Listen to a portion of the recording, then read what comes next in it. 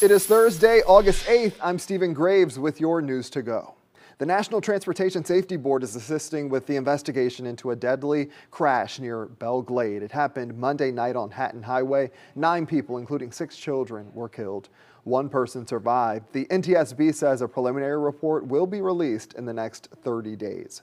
A West Palm Beach mother is in jail on child neglect on a child neglect charge after her toddler nearly drowned. Police say back in April, Francesca Geller's 22-month-old son got out of their apartment while she was in the bathroom. Geller found the toddler in a nearby lake. A neighbor performed CPR to save the boy. That toddler remains unresponsive and intubated. Geller admitted to smoking marijuana an hour before the child nearly drowned.